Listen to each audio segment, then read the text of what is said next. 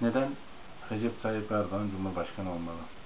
Çünkü bu ülke zamanında bir anayasa kitapçının fırlatılmasıyla ciddi krizler yaşamış ülkemiz ve insanları kat be kat fakirleştirilmiş.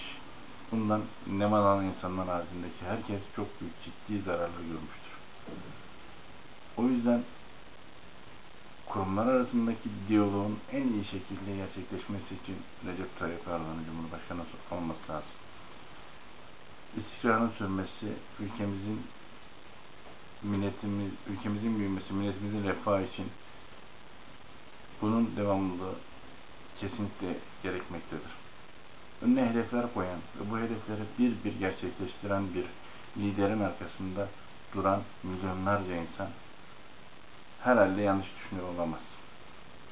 Kendisi için değil, milleti için siyaset yapan, bu siyaseti de en iyi şekilde yapan, e, çok güzel bir takım anlayışı içerisinde olan e, Recep Tayyip Erdoğan bu işi en iyi yapacak insanlarla insanın ta kendisidir.